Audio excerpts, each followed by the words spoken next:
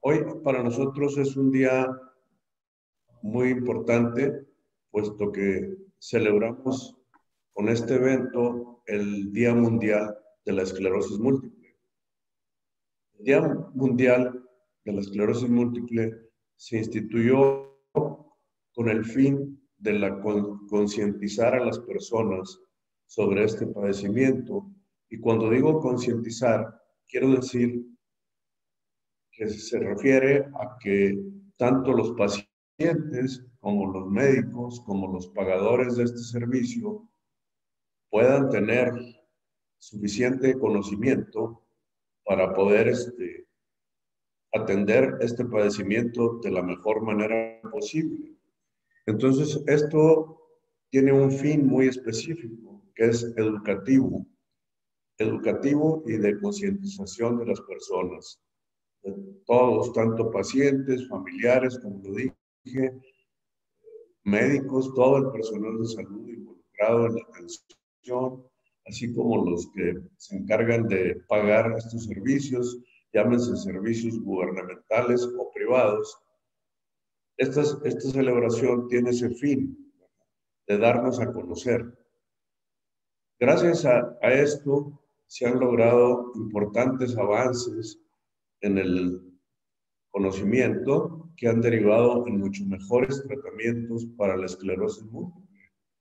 Y hoy por hoy podemos decir que contamos con tratamientos llamados de alta eficacia que han cambiado totalmente la historia natural de la enfermedad.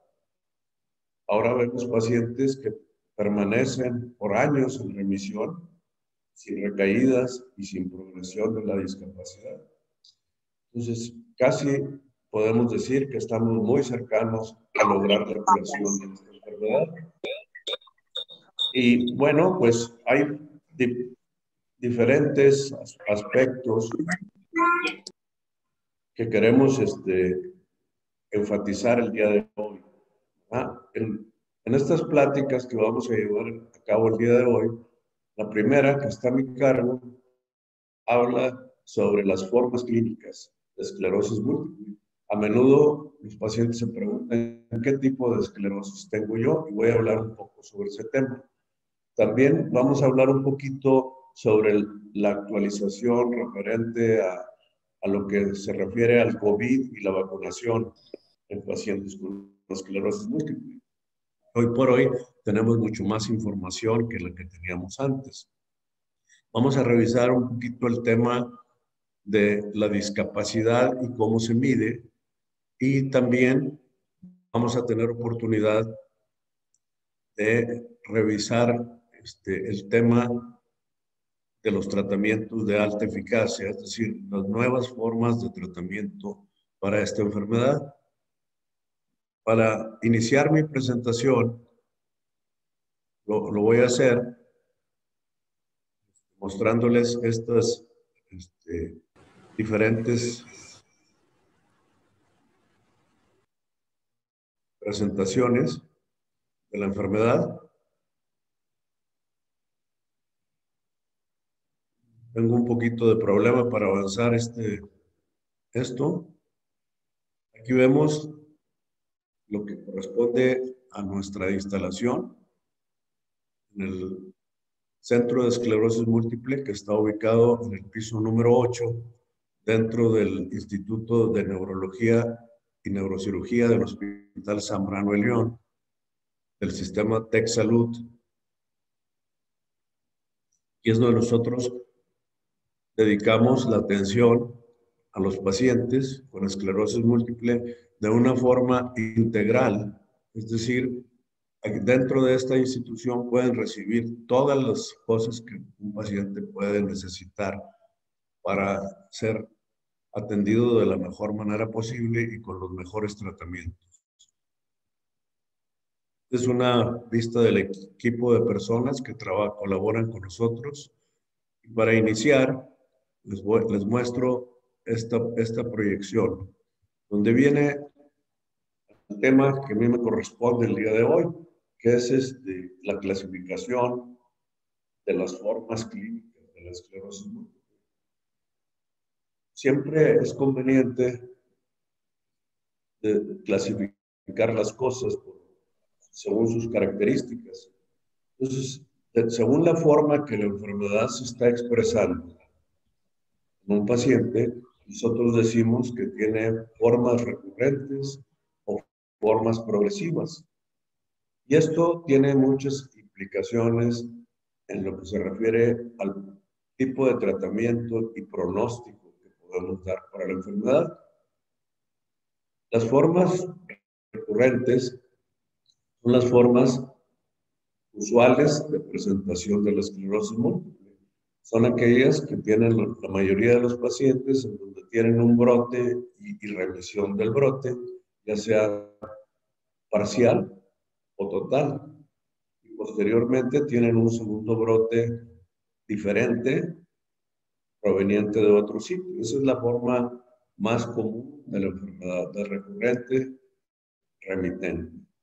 Por otro lado, un porcentaje pequeño de los pacientes inician con formas progresivas llamadas primarias. Las formas progresivas primarias son aquellas que el paciente prácticamente no tiene brotes o solamente algún brote durante algún tiempo. Sin embargo, progresa su discapacidad en forma gradual no se trata de dos enfermedades diferentes. Creo que debemos de entender que esta es una misma enfermedad con formas de expresión diferentes en los individuos, que tenemos cada uno características muy especiales, composición genética y forma de responder ante una enfermedad. Entonces son dos formas en las cuales se expresan. Un porcentaje pequeño la expresan como primaria y la gran mayoría lo expresan como formas recurrentes. Cuando hablamos de esta clasificación, pues esta clasificación fue hecha en el año 2013 por un doctor de apellido Lublin, que es el director de la Clínica de Esclerosis Múltiple en el Monte Sinaí, en Nueva York. En ese hospital, él coordina todos sus esfuerzos a nivel global con otros, con otros especialistas y publicaron esta, esta reclasificación porque ya existían otras antes, pero esta es la que usamos en la actualidad. Y si hablamos de formas recurrentes, remitentes, debemos recordar que todos los pacientes inician con un brote. El primer brote que ocurre con la enfermedad todavía no es recurrente, remitente, porque no ha habido un segundo. Y ese lo conocemos como el síndrome clínico aislado, que es la primera manifestación clínica de un paciente. Este, esto reviste particularmente gran importancia porque el ser diagnosticado tempranamente impacta mucho en el pronóstico de la enfermedad. Si alguien recibe tratamiento temprano y de alta eficacia, vamos a ver cómo esa persona va a tener una mejor evolución a lo largo de los años y nunca va a alcanzar esa discapacidad tan temida por los pacientes, donde la, enfermedad ha sido estigmatizada largo de los años, pues porque no existían tratamientos, los, los enfermos evolucionaban a una discapacidad Creo que hoy por hoy ya eso no debe de ocurrir con las nuevas formas de tratamiento. Porque si tú inicias un tratamiento en una forma recurrente, remitente, cuando ya han transcurrido 5 o 10 años de la enfermedad, tu pronóstico y, evolución de esta enfermedad no van a ser tan buenos como si lo hubieras hecho más tempranamente. Como quiera va a haber un impacto de frenar, pero lo que ya está dañado no va a recuperarse, no tiene poder de recuperación del sistema nervioso. Como saben ustedes, la enfermedad tiene dos formas de atacar, de atacar al sistema nervioso. Una es la desmirinización y otro es el daño axonal. Los axones son las fibras de las neuronas. Cuando ésta se destruye, se produce un daño irreversible. La mielina puede haber una remilinización parcial, pero no es tan importante como las, los exones para el pronóstico funcional de una persona. Entonces tenemos el síndrome clínico aislado como la primera manifestación y las formas recurrentes remitentes como las formas más frecuentes de presentación de la enfermedad. Y luego tenemos ese porcentaje pequeño de pacientes que inician con una progresión sin, sin recaídas o con ocasionalmente alguna recaída. Y luego también tenemos otra forma progresiva que no es la primaria, que es la secundaria. Y esta forma progresiva secundaria es una etapa tardía que tienen los pacientes que tienen los pacientes con esclerosis múltiple recurrente remitente. Después de muchos años de tener la enfermedad sin haber recibido un tratamiento adecuado, la enfermedad casi en su porcentaje muy alto de los pacientes va a evolucionar a esa forma progresiva secundaria, en donde el paciente progresa en su discapacidad, pero ya no progresa porque tenga recaídas, sino porque existe otro mecanismo de daño.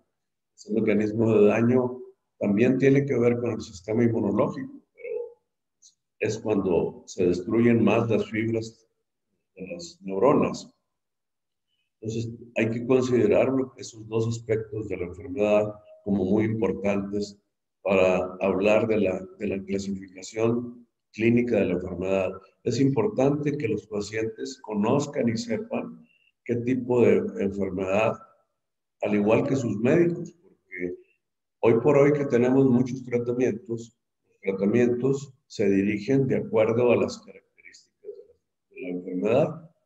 Hasta hace un par de años, por ejemplo, no había tratamiento para las formas progresivas primarias.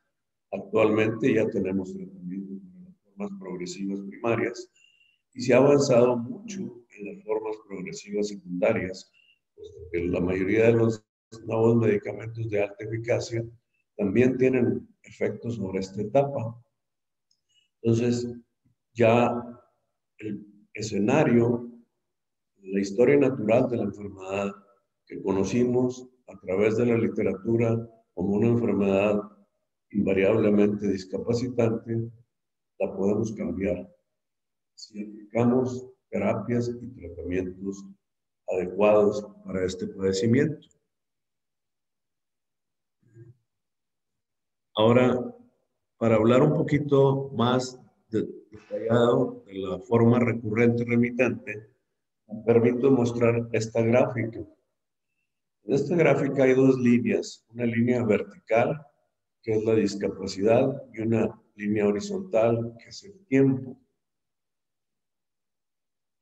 En esa, sobre esas líneas están en colores tres brotes que vemos. Esos brotes que aparecen ahí, cuatro, ¿verdad? El último es más pequeño. Estos son las recurrencias y remitencias que hace la enfermedad. Aparece un primer brote y regresamos a la línea basal. Aparece un segundo brote y ya no regresas. Te quedas con algo de discapacidad, puesto que este brote causó también daño a las fibras. Y así sucesivamente ocurre la progresión de la discapacidad. Si tú aplicas un tratamiento de alta eficacia, vas a suprimir los brotes. Si no hay brotes, no va a haber progresión de discapacidad. Entonces, esta es la, en forma gráfica, la descripción de lo que serían las formas recurrentes remitentes de la enfermedad. Espero que haya quedado claro este concepto. Abajo hay unas flechitas. Esas flechitas es la actividad de la resonancia magnética sobre la línea del tiempo. Vemos la primera flechita y, un brote, ¿verdad? Vemos después que hay dos flechitas y un solo brote. Esto quiere decir que las lesiones que ocurren en el cerebro son mucho más frecuentes que los brotes clínicos. Entonces, nunca vamos, podemos confiar y medir la progresión de la enfermedad solamente por los brotes clínicos. Tenemos que considerar también eh, la resonancia magnética. Es por eso que periódicamente un paciente que está en tratamiento tiene que repetirse la resonancia magnética para hacer el conteo de lesiones y ver si está progresando, si está teniendo nuevas lesiones o no. Vamos a ver otra de las formas que, de las que mencioné, que esta es la forma secundaria progresiva. Después de un tiempo, usualmente 15 años, algunos, la mitad de los pacientes aproximadamente, van a tener una evolución a la progresión, pero que no depende de los brotes. Ya la línea tiende a ser ascendente, la línea de progresión. Si vemos, esa es la línea vertical de discapacidad y abajo está la línea del tiempo. Entonces, a lo largo del tiempo se van desarrollando discapacidades en forma lenta progresiva. Y el paciente pasó primariamente por una forma recurrente remitente.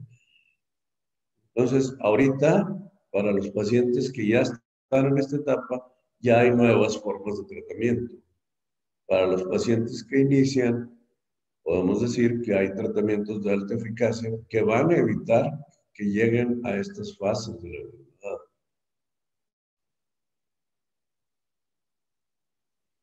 Y tenemos la otra forma, que es la primaria progresiva. La primaria progresiva, pues, como puedes ver, la línea es ascendente con un pequeño brote nada más, desde el principio. En la, en la, línea del tiempo el paciente va adquiriendo una discapacidad gradual, ya no dependiente de brotes. Esa es la forma progresiva primaria que tienen algunos pacientes que es pobremente diagnosticada en nuestro país y a veces confundida con otras enfermedades degenerativas que no son la esclerosis múltiple. Entonces, esas son las tres formas principales y recordar que en las formas recurrentes, remitentes, ocurre el primer brote que se conoce como el síndrome clínico aislado. Hay otro término que puede dar un poquito lugar a confusión, es el síndrome radiológico aislado. Son aquellas personas que les descubren en una resonancia magnética lesiones desmielinizantes. Usualmente eso no es esclerosis. Entonces hay que tener mucho cuidado de no tratar a una persona simplemente porque tiene manchas desmielinizantes en la resonancia magnética tiene que haber preferentemente manifestaciones clínicas o progresión de esas manchas. Si no lo hay, el mero descubrimiento de ellas no hace diagnóstico de esclerosis múltiple. Acuérdense que el diagnóstico de esclerosis múltiple es complejo, requiere reunir una serie de criterios que permiten armar ese rompecabezas, tan difícil a veces para establecer un diagnóstico clínico. No existe ninguna prueba que te pueda decir tú tienes esclerosis múltiple o no tienes. Dependes mucho de la experiencia y habilidad del médico en aplicar los criterios diagnósticos. Aquí tengo una otra gráfica donde aunque está en inglés, se los voy a explicar. Arriba tenemos en, un cuadrito azul el síndrome radiológico aislado. Después tenemos el síndrome clínico aislado. Luego tenemos las formas recurrentes y las formas recurrentes con progresión secundaria. Y en, en el cuadrito gris de arriba, de la su derecha, está la forma que es la primaria progresiva. Entonces, estos son, como lo vemos a lo largo del tiempo, todos los pacientes pasan por actividad clínica subclínica, es decir, tienen actividad en la resonancia magnética antes de tener las manifestaciones clínicas. Y esa actividad es el síndrome radiológico aislado, pero esto hay que tener mucho cuidado porque se puede prestar a mucha confusión. Y si, y si vemos a lo largo del tiempo, pues hay varias líneas ahí. Por ejemplo, la línea curva naranja, que es la que sobresale ahí, color naranja es la línea de la inflamación. Conforme pasa el tiempo va aumentando la inflamación y luego esta inflamación es menor a pesar de que el paciente tiene progresión. Luego tenemos el color verde, cómo gradualmente los pacientes van perdiendo fibras por el daño axonal, el mecanismo de daño no nada más de destruir mielina, sino también destruir fibras y va haciendo que progresivamente aumente esta cantidad de, destrucción de fibras. Y en azul, el volumen cerebral. El volumen cerebral va a declinar porque se van perdiendo neuronas y fibras y el cerebro sufre cierto grado de atrofia. Esto ocurre por historia natural de la enfermedad. Y lo que pretenden aquí decir es que en la fase inicial hay una inflamación y en la fase tardía predomina la degeneración. O sea, va, va modificándose la enfermedad a lo largo del tiempo. Entonces, yo creo que es una misma enfermedad que tiene diferentes expresiones clínicas que tienen que ver con la, el momento en el que ustedes diagnostican esta enfermedad. Bueno, yo, yo con esto quiero dar una pequeña conclusión. Y la, la conclusión a la que quiero llegar es que hemos, yo presenté a ustedes la historia natural. Ustedes van a ver en otras presentaciones cómo ocurre que una modificación a la historia natural. Por eso los tratamientos se conocen como modificadores. Cómo los tratamientos de alta eficacia tienen más impacto para reducir los brotes y la progresión de la discapacidad. Esto es un hecho a nivel mundial y se tiende a abandonar los tratamientos iniciales como el interferón y el acetato de glatiramel. Alguien me puede decir, bueno, aquí los tenemos en el IMSS. Sí, en todo el mundo existen y se siguen usando, pero la información científica que tenemos es que debemos de ir presionando por ese cambio de, de tratamiento hacia las nuevas formas de alta eficacia. Es muy importante que los pacientes conozcan esto y cuando un, cuando un paciente está en un tratamiento de los más antiguos y llega a presentar alguna recaída, en ese momento nosotros consideramos que es necesario cambiarlo de tratamiento. Bueno, esa es mi conclusión. A continuación, el doctor Francisco Rodríguez nos va a hablar un poquito un pequeño resumen sobre lo que está actualmente sobre la vacunación. Muchísimas gracias por la atención. Gracias, doctor. Muchas gracias, doctor. Eh, muy, muy valiosa la información que nos presenta el doctor de la masa. Eh, hay que recordar cómo se, se comporta esta enfermedad durante los diferentes etapas que, conocemos. Eh, y esto se relaciona directamente con el tratamiento y, pues eh, con los demás tratamientos que usamos no solo para la esclerosis múltiple, sino para otras enfermedades como el COVID, incluyendo la prevención y en este caso la vacunación. Bueno, y, yo les voy a hablar sobre este tema en específico. Voy a hablarles sobre la vacuna de COVID y, y cómo se relaciona con la esclerosis múltiple.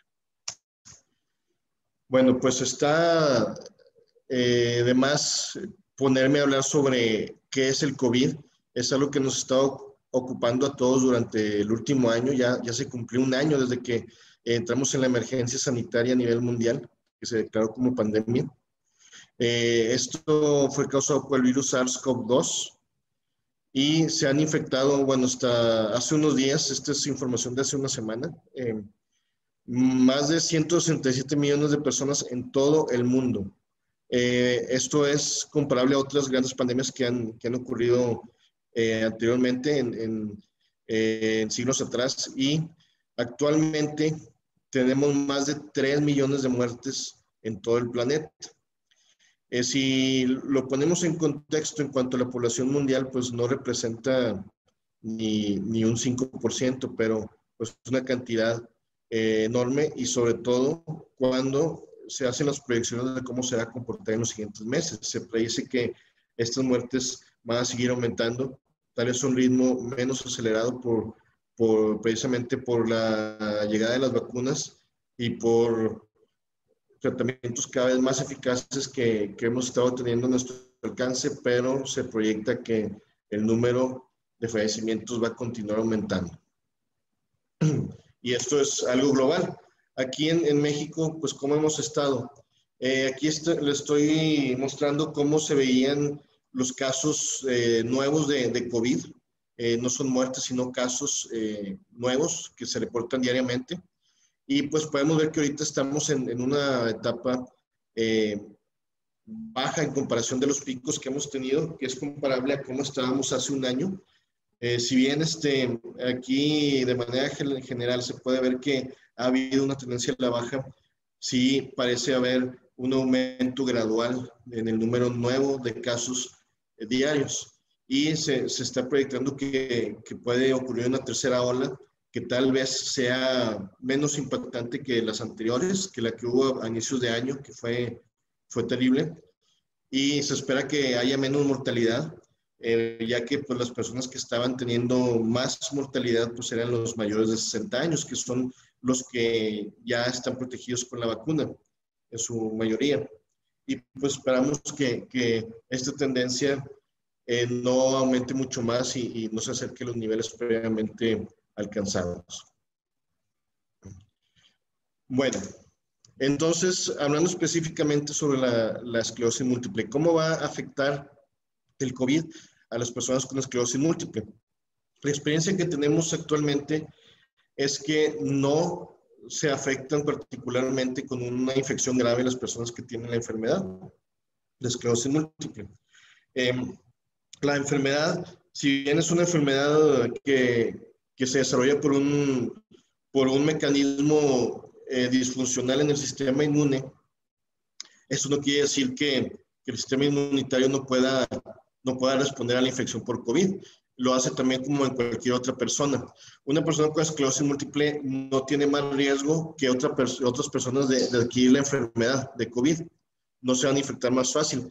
Y si se infectan de COVID, no tienen más riesgo de tener una infección grave que otras personas. Aquí eh, hemos visto a lo largo de este año con pandemia que, que lo que realmente eh, afecta o, tiene un, un, impacto en, en, en, el desarrollo del, del, COVID, de cómo se desarrolla la enfermedad, pues son, son los factores de riesgo eh, de la persona, que son la edad, enfermedades crónico-degenerativas como diabetes, hipertensión, eh, el mayor riesgo si están descontrolados estos factores obesidad, eh, sedentarismo, eso tiene mucho más peso que, que otros factores de riesgo y, y, pues la esclerosis múltiple no es un factor de riesgo para desarrollar una enfermedad grave por COVID. Y pues algo que ha estado ocurriendo este año, bueno, aquí este, una lo, lo abordé de manera de pregunta es, si tengo una recaída por esclerosis múltiple o necesito aplicar un tratamiento en infusión, ¿debo quedarme en casa y dejar pasar el tratamiento?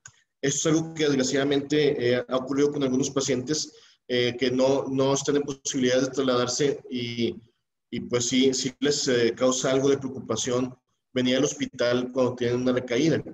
Lo que se recomienda, em, y es una recomendación de la Federación Internacional de Esclerosis Múltiple, es que las recaídas se deben de tratar, no se deben de dejar pasar.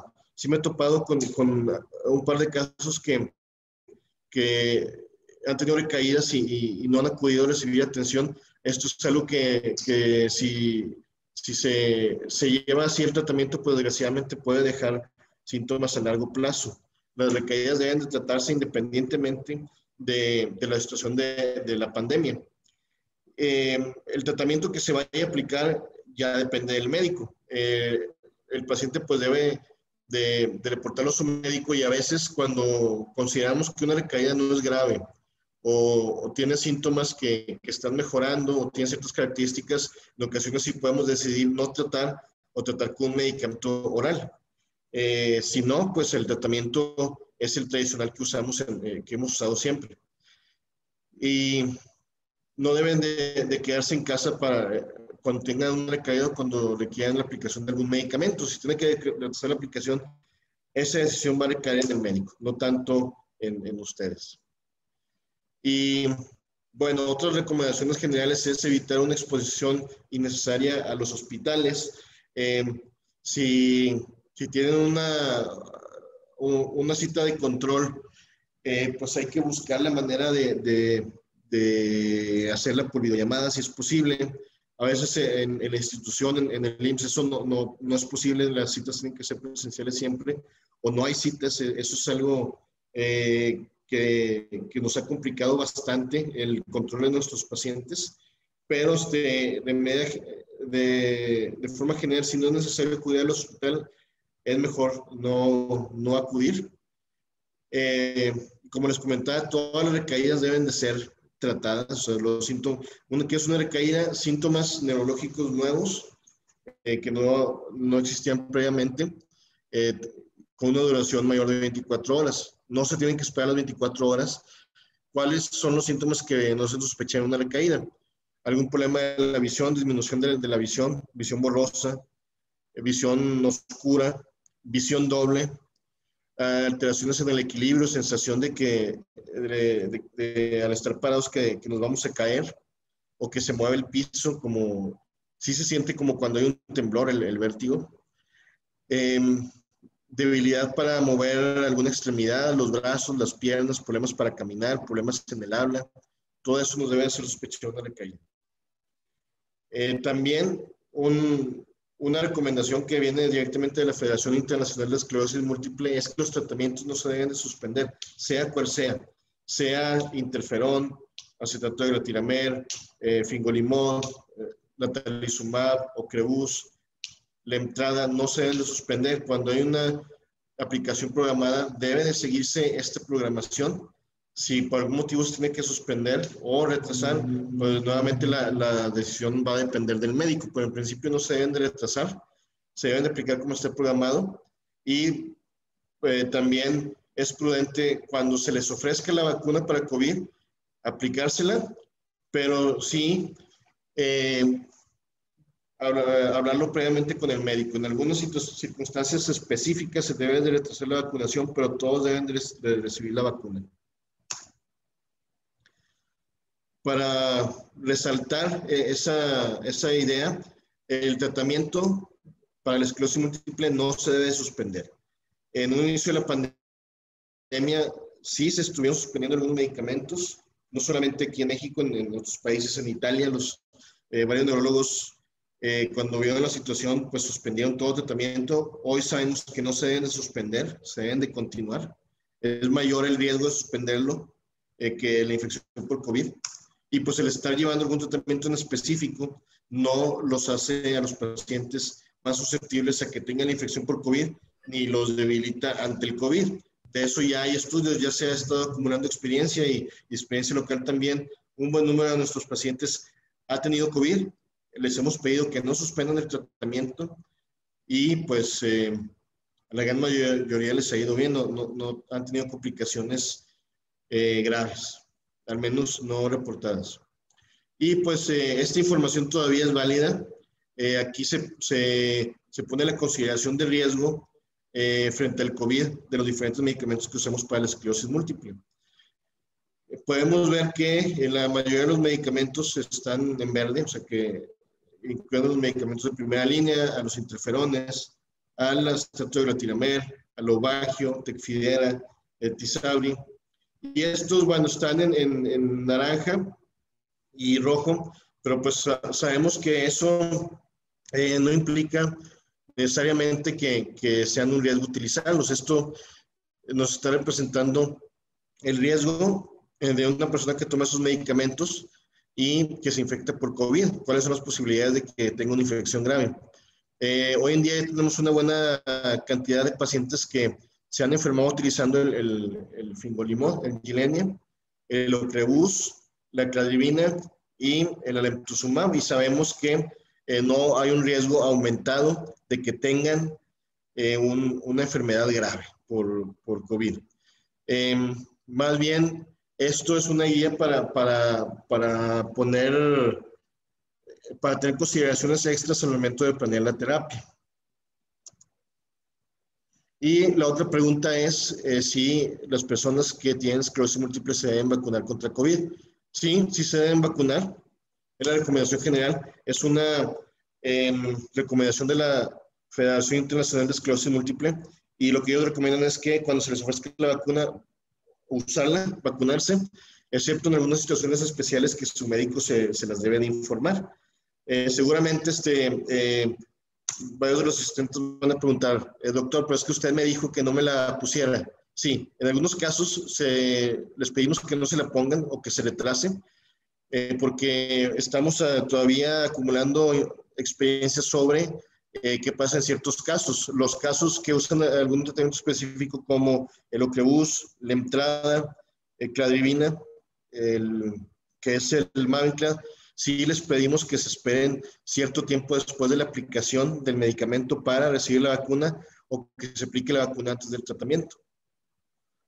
Bueno, ¿cómo debe ser una vacuna ideal? Bueno, una vacuna ideal es una vacuna que da buena inmunidad, o sea, que, que hace que la persona sea inmune contra el virus o, o, la bacteria y que no cause ningún efecto adverso.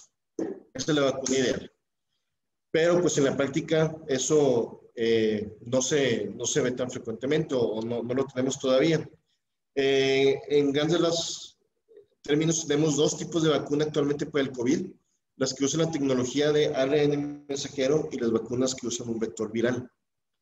Los dos tipos de vacuna no tienen la capacidad de producir la enfermedad por COVID, sino que usan em, ciertas estructuras del virus que le dan instrucciones al sistema inmune para que produzca eh, anticuerpos y defensa contra el, el COVID.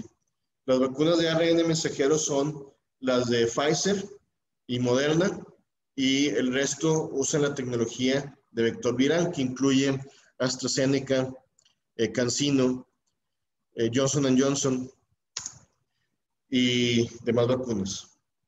Em, bueno, eh, ¿me puedo vacunar si tengo esclerosis múltiple? El tipo de, tratamiento que se usa para esclerosis múltiple no va a afectar a la persona no va a causar efectos adversos, pero sí puede afectar en que la vacuna sea eficaz o no.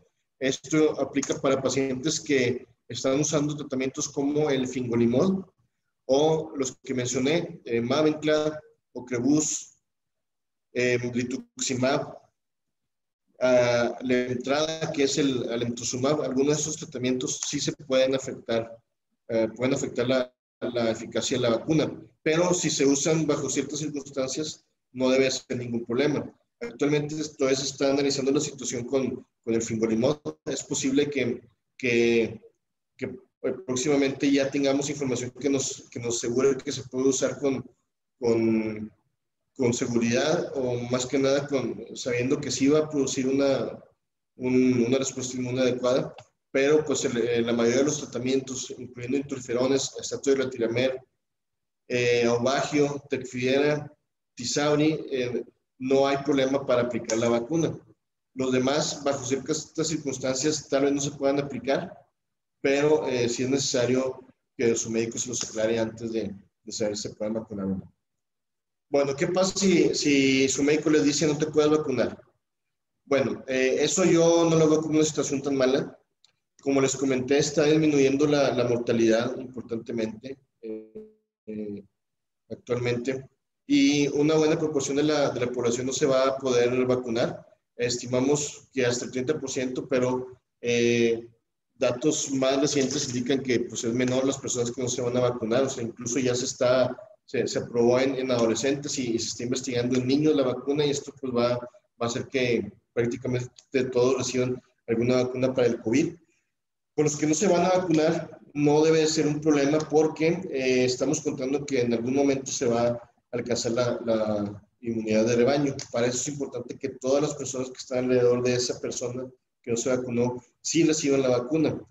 La inmunidad de rebaño ya se ha alcanzado en algunas otras enfermedades como la poliomielitis y eh, se estima que para el COVID, eh, cuando haya un 80% de personas vacunadas, eh, se alcance esa, inmunidad de, de, rebaño, que es lo que, los datos que tenemos para la poliomielitis.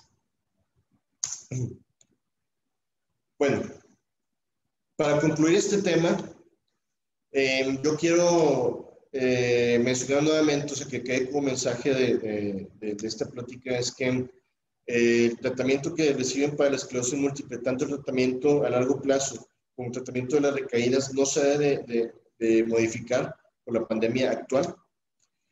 en algunos pacientes no se recomienda la vacuna para COVID-19, pero eh, eso debe de, de, de, consultarse con su médico previamente y en términos generales todos deben de, recibir la vacuna en algún momento u otro. Y en los pacientes con esclerosis múltiple van a tener, si se enferman por COVID-19, van a tener un curso de la enfermedad similar al resto de las personas. El hecho de tener esclerosis múltiple no les afecta para que tengan una enfermedad por COVID-19 más, más severa que otras personas. Bueno, con eso termino mi, mi, mi presentación. Eh, tengo entendido que las preguntas vamos a, a, dejar al final de todas las charlas. Quiero agradecer a todos los asistentes, agradecer a la organización de Tech Salud, al doctor de la masa y a todos los integrantes de, la clínica de, de esclerosis múltiple. Muchas gracias.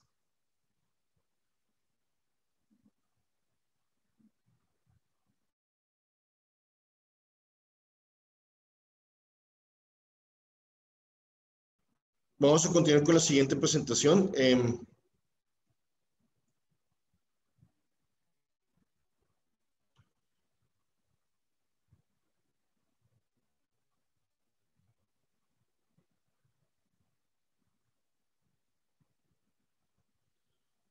Bueno,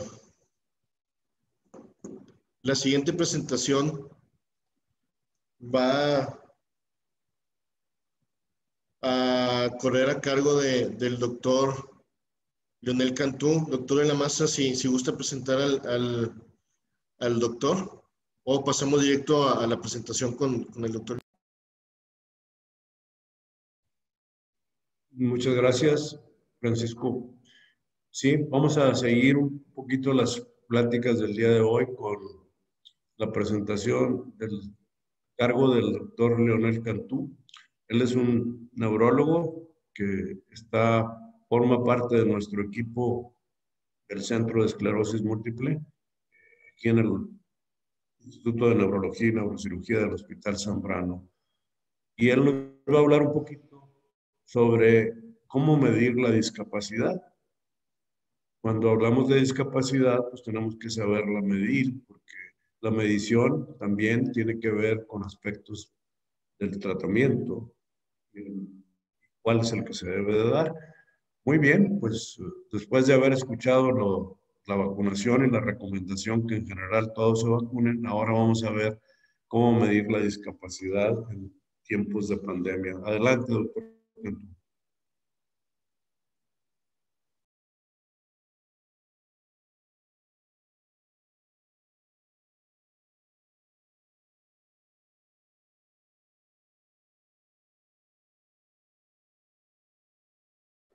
Hola, muchas gracias. Ahí sí se escucha, ¿verdad?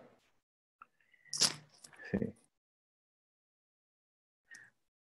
Bueno, eh, este tema va relacionado a, con, la nueva modalidad que ahora estamos viendo en, en la atención de pacientes con esclerosis múltiple. Algo muy importante en el seguimiento es cómo medir la discapacidad, qué herramientas tenemos para saber si los pacientes están teniendo una buena eficacia del tratamiento o han estado presentando deterioro en diferentes eh, uh, situaciones clínicas. Em,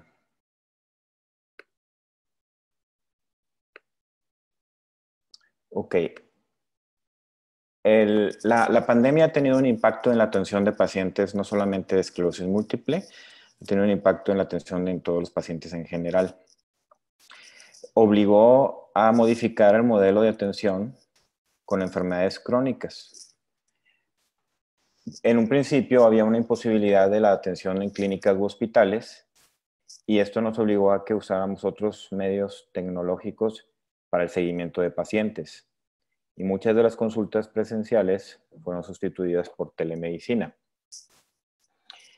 A, la, fecha ya existen los, eh, los resultados de lo que los diferentes centros han encontrado en cuanto a la modalidad de atención y seguimiento de los pacientes con esclerosis múltiple particularmente. Y sí establecen que hay una gran utilidad y eficacia en la atención a distancia. Sin embargo, a, la fecha, una teleconsulta aún no sustituye una consulta presencial.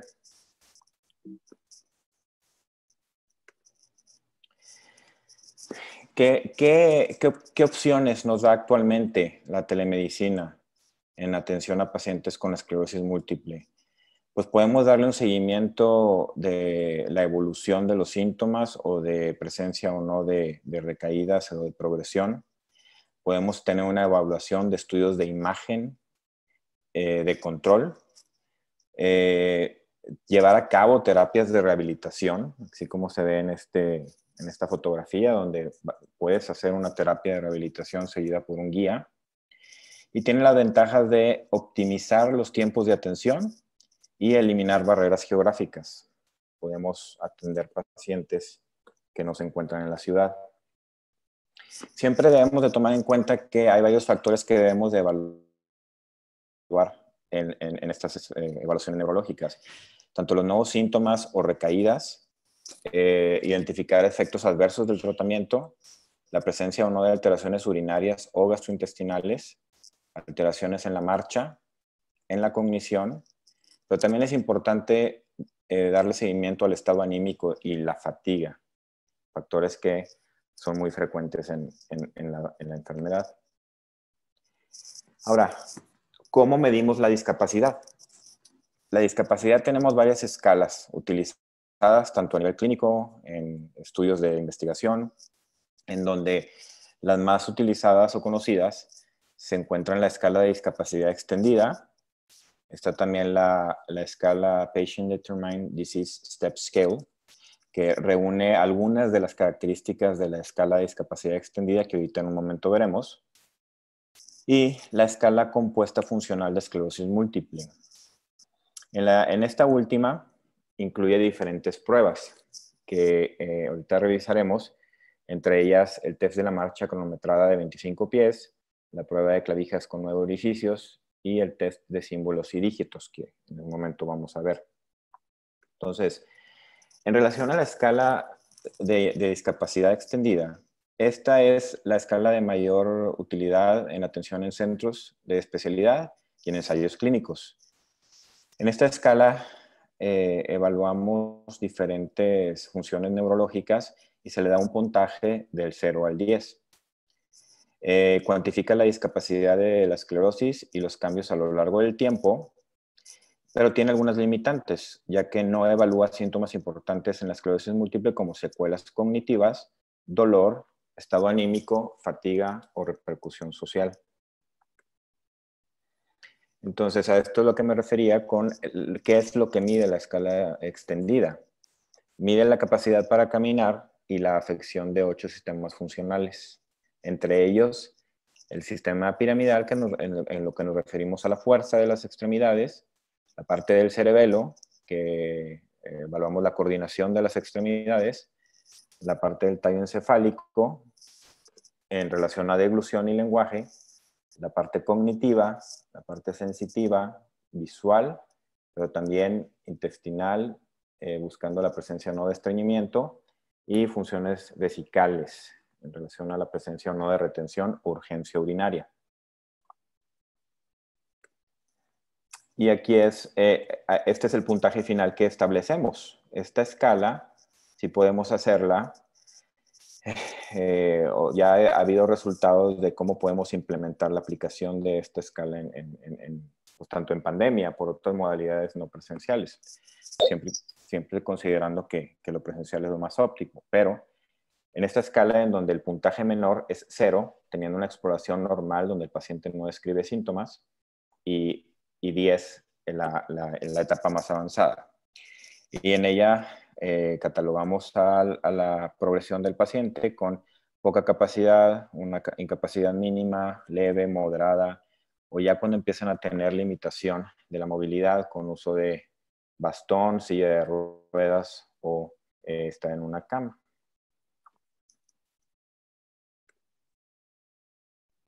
Esta, esta es la, la, que les mencionaba hace un momento, la prueba de la marcha cronometrada de 25 pies, que son alrededor de 7.5 metros, en donde registramos eh, el tiempo que el paciente se tarda a caminar esta distancia y si es necesario o no el uso de algún dispositivo para caminar. Esta prueba se hace dos veces y lo que tratamos de hacer es contabilizar el tiempo. Eh, eh, que se tarda en hacer ese recorrido. Y después podemos graficar aquí el tiempo que tarda en las diferentes fechas de la prueba. Y podemos eh, tener una o visualizar de forma objetiva esta, este, estos cambios, ver si mejoró en cuanto a la agilidad de, de, realizar la prueba o hay un empeoramiento y de forma a lo largo del tiempo podemos darnos cuenta si el paciente está teniendo deterioro en este ámbito.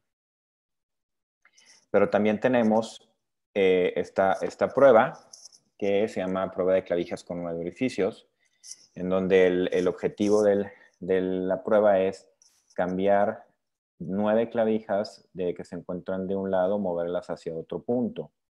Por ejemplo, de aquí a acá. Y luego contabilizamos eso y luego la regresamos de aquí para acá y contabilizamos este tiempo también. Y eh, se hace con ambas, con una mano primero y después con la otra mano. Y esta prueba lo que nos ayuda a evaluar es la coordinación motora y la capacidad de seguir instrucciones simples. Y también los cambios en el tiempo, los, el mejor tiempo que haga o el deterioro en los tiempos, pues nos da una idea de, de, la evolución o la progresión de, de, los síntomas o de la enfermedad de los, de los pacientes. Este test llamado de símbolos y dígitos eh, en este el objetivo es eh, evaluar la velocidad de procesamiento cognitivo y la atención. Como pueden ver aquí en la figura, cada número está representado por un, por una por un símbolo. Entonces se le pide al paciente que los evalúe bien y, y, luego se le pide hacer una prueba donde se, se hace una práctica y luego ya se empieza a contar durante un determinado tiempo el que el paciente vaya ah, eh, acomodando los diferentes símbolos eh, en, los números que le corresponden. Igual, esto es, son dos líneas, pero, pero la prueba tiene muchas más líneas en donde se hacen también comparaciones a lo largo de las evaluaciones que podamos tener. Por ejemplo, estas, estas eh, pruebas que les acabo de mencionar, si las pudiéramos hacer con, de forma eh, no presencial debido a que podemos estar en contacto y contabilizar tiempo y hacer una evaluación. Este, sin embargo, sí en la parte, en esta pandemia, esta limitante que nos tiene de a veces no poder hacer las, las eh, evaluaciones presenciales, eh, se buscan otras estrategias para, para poder complementar y, siempre darnos cuenta o estar eh, identificando no solamente si el paciente nos describe un cambio en su estatus clínico, sino lo que nosotros podamos identificar por medio de las pruebas realizadas. Entonces, la, la idea es que la progresión de la enfermedad ahora con todos los medicamentos que mencionó y los diferentes tipos de esclerosis que previamente mencionó el doctor de la masa, eh, y, las diferentes opciones de tratamiento, modificadoras, buscamos con esto que las la enfermedad permanezca, pues llamémosle así, silenciada, eh, y, y los, las revisiones periódicas nos darán información sobre cómo ha ido el desempeño no solamente motor, motor, sino también de la parte cognitiva. debemos de, hay evaluaciones también para eh, ver la fatiga, hay evaluaciones para ver la coordinación. Entonces, todas estas pruebas, algunas de las que le mencioné, las, hacemos las se hacen de forma directa eh, con el paciente y nos dan un panorama del estado en el que se encuentra. Eh, existen pruebas estandarizadas para evaluar la progresión y las podemos realizar tanto en el consultorio como de forma remota. Siempre es importante considerar que ante nuevos síntomas debemos recibir una evaluación por un neurólogo en la modalidad más conveniente. Y la importancia de todo esto, al final de cuentas, es identificar cambios clínicos, identificar progresión, efectos a medicamentos de forma oportuna. Muchas gracias al equipo, al Centro de Esclerosis, muchas gracias a los doctores Francisco González y de la Maza y al equipo organizador de, del, Tec, Salud para que se lleven a cabo este tipo de eh, presentaciones para dar información y que todo el público pueda conocer sobre lo que debemos de estar haciendo para la buena optimización del tratamiento y seguimiento de los pacientes con esta enfermedad. Igualmente al final estaremos contestando preguntas.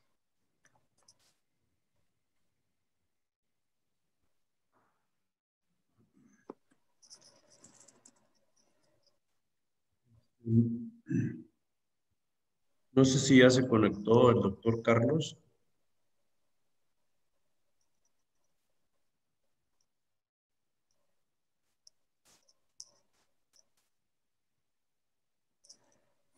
Leonel.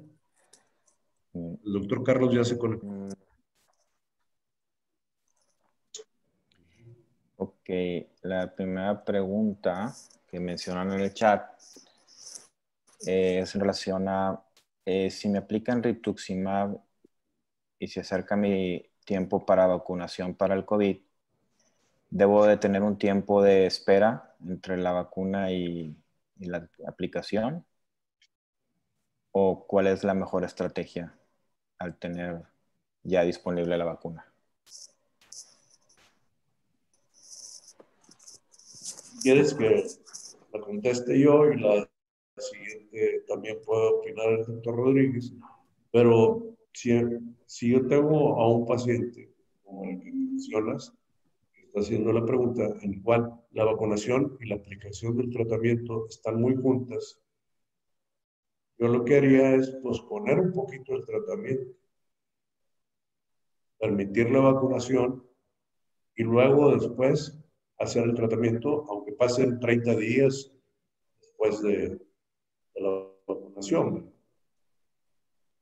Pues, posponer un poco el tratamiento no afecta las infusiones, esperarse un mes o dos para la siguiente y ponerse primero la vacuna.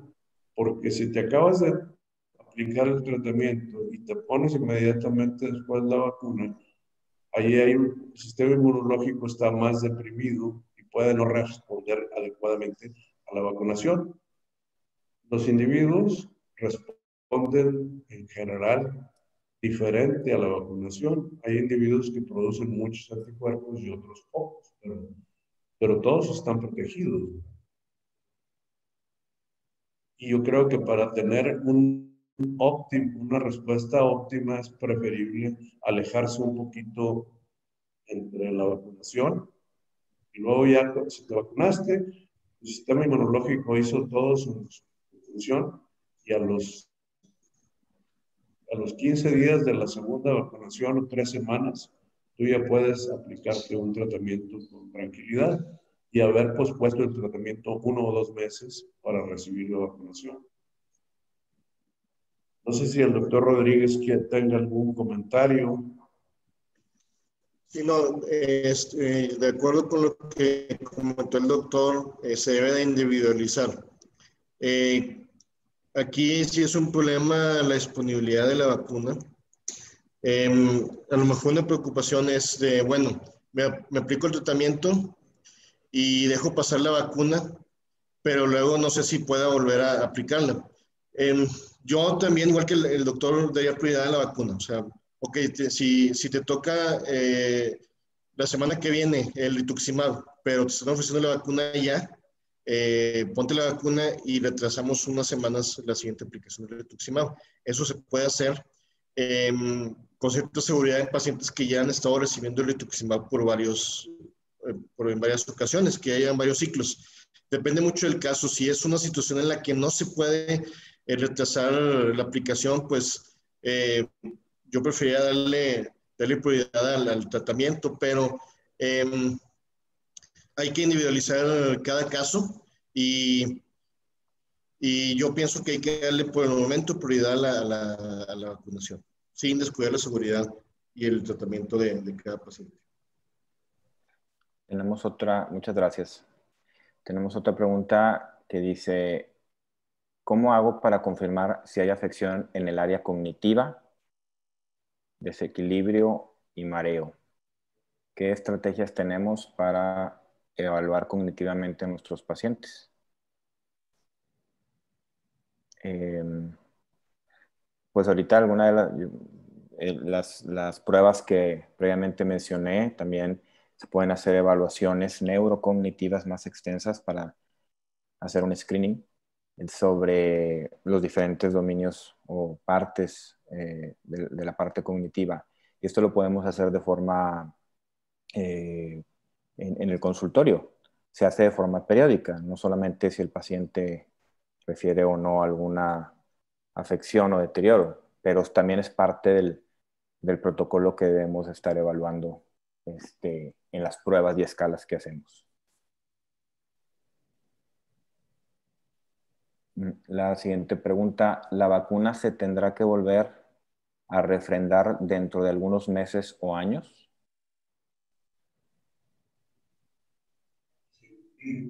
Reciente puedo contestar esa pregunta. Es algo que no se sabe. Eh, hay, hay vacunas como la de la hepatitis, pones igual que esta, dos aplicaciones y a los seis meses te pones otra.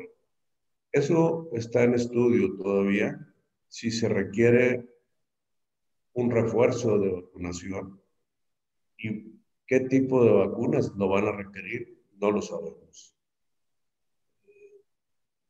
No hay una respuesta que alguien pueda dar con fundamento científico sobre eso. Se supone que pudiera necesitarse, pero oficialmente ninguna autoridad sanitaria a nivel mundial ha decretado esto como un hecho o una necesidad. Se comenta en diferentes medios es, esa posibilidad de que pudiera existir, ¿verdad? Como esto es nuevo, es una nueva vacunación, no tenemos esa respuesta. Ok. Em, ¿Qué tan importante es el tratamiento de fisioterapia en los brotes? ¿Debemos de suspenderlo o continuarlos? La fisioterapia. Bueno, eh, puedo responder esa pregunta. La recomendación es continuarla, eh, a menos de que sea una, una recaída que impida la movilización o que haga difícil los traslados, eh, tal vez tenga que interrumpir momentáneamente, pero la indicación es continuarla e incluso después de una recaída, lo mejor es la movilización temprana, reiniciar lo más pronto posible la movilización y terapia física. La principal terapia, el tratamiento de, después de una recaída es médico, pero definitivamente eh, la rehabilitación física ayuda y se debe de, implementar tan pronto sea posible. Muy bien, sí. También nos preguntan, ¿dónde nos podemos hacer la medición de nuestra discapacidad y el costo?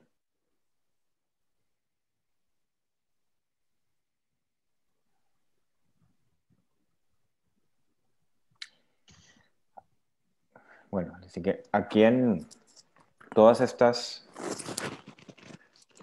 todas estas pruebas que estamos mencionando. ¿O iba a decir algo, doctor, de la masa? Sí, yo creo que primero, para hacer una, una escala de discapacidad como la de Krosky, pues eso normalmente lo hacemos en todas las consultas. Cuando nosotros estamos valorando al paciente, estamos aplicando los puntos al, al hacer el interrogatorio, al observarlo, la forma en que camina, si se cansa o no, los síntomas que tiene, pues eso es una escala que tú, el médico hace automáticamente durante la consulta. Y la mayoría de, de los médicos no estamos haciendo rutinariamente estas pruebas pero sí las consideramos muy importantes porque son pruebas muy sensibles en un futuro para medir pequeñas variaciones y anticiparnos a cualquier modificación del tratamiento. Y es algo que hemos iniciado la planeación para llevar a cabo algunos talleres con pacientes en donde vamos a realizar estas pruebas cognitivas y de funciones motoras más específicas. Realmente no, no, no, no, es, no hay un estándar, muchas se llevan a cabo durante una consulta. Creo que llevar a cabo esas pruebas tiene aproximadamente el mismo valor que el tiempo que se lleva una consulta.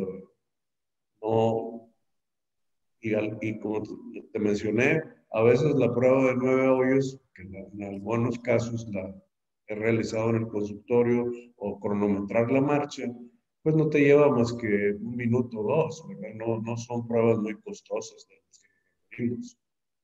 eh, la prueba de símbolos y dígitos se lleva cinco minutos. El problema es que son un poquito laboriosas, ¿verdad? Y toman tiempo de la consulta, pero se pueden hacer en una consulta subsecuente, ¿verdad? Y hacer esas mediciones. Y bueno, pues uno de nuestros grandes intereses aquí, precisamente en el Centro de Esclerosis Múltiple, es estandarizar toda esa práctica de pruebas muy sensibles de medición de discapacidad para tener una medición más objetiva, que normalmente, pues, como nosotros como neurólogos en protocolos de investigación, pues siempre tenemos que hacerlas, porque la investigación implica mediciones muy precisas de, los valores que se van a, analizar, ¿verdad? O medir. Entonces, estas pruebas sí son aplicadas rutinariamente en todos los procesos de investigación clínica, sobre todo para la aprobación de nuevos medicamentos. Muy importante todas estas pruebas.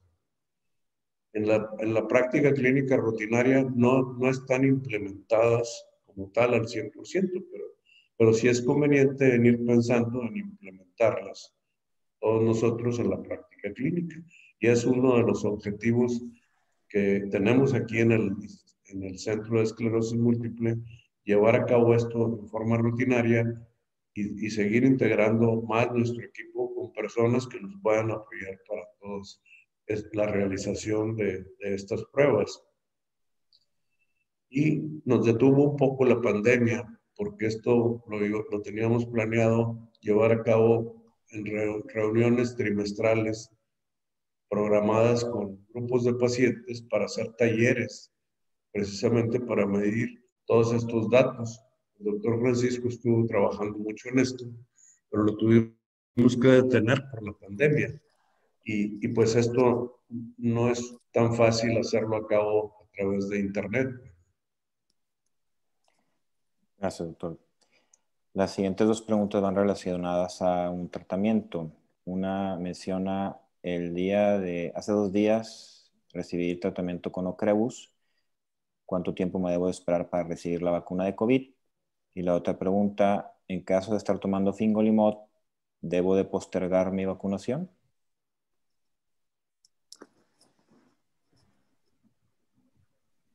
Bueno, yo, yo puedo contestar esas eh, preguntas. Eh, para también en la cuestión del, del Ocrebus, sí se recomienda actualmente esperar dos a tres meses. Em, se puede hacer antes monitoreando algunos niveles de, específicos de glóbulos blancos en, la sangre, pero em, eh, de manera segura, eh, después de los tres meses se puede aplicar la vacuna y esto es por, por eficacia, no es porque eh, cause algún efecto adverso, pero se pueden hacer algunas excepciones cuando no hay disponibilidad de la vacuna, o sea, se puede poner antes. Y con el riesgo de que no, no sea completamente eficaz. En el caso de, de fingolimod, em, hay que individualizar la decisión. En muchos casos se les está pidiendo que, que, no se la apliquen porque es posible que no tenga la eficacia esperada, pero cuando una, la persona tiene varios factores de riesgo para COVID, eh, será será recomendable pues que, que, se la ponga, eh, tal vez con, con, el riesgo de que no sea completamente eficaz, pero es algo que todavía no tenemos completamente dilucidado. Es, es posible que sí sea eficaz eh, en estos pacientes y así que la uh, recomendación se tiene que individualizar. Um, depende de, de, muchos otros factores, pero en general, eh, pues eh, hay que darle prioridad a, a, a la vacuna si, si no, no hay posibilidad de vacunarse después, se debe de, de hacerse cuando se tenga disponible la, la, vacuna. Recientemente platicaba yo con un infectólogo respecto a los pacientes que tienen compromiso inmunológico por diversos tratamientos y que pudieran no tener, como tú mencionaste, esa respuesta óptima de tratamiento y bueno, en vista de, que no, no hay un consenso, me decía él, bueno, tal vez a estos pacientes sí conviene medirles anticuerpos después de la vacunación y probablemente en lo que todavía no está cierto es que si esas personas tuvieron baja producción, pero extremadamente baja, entonces pudieran necesitar un refuerzo de la vacunación. Ahí sí pudieran ser, pero todavía no está establecido esto. Yo creo que el que tenga dudas de qué tanto efecto le hizo la vacuna, se debe de hacer la medición de anticuerpos en un laboratorio que mida específicamente los anticuerpos de la vacunación y, y valorar si trae anticuerpos suficientes, pues debe de despreocuparse. Quiere decir que su sistema inmunológico sí reaccionó adecuadamente, pero son casos individuales. No es una recomendación rutinaria para todos.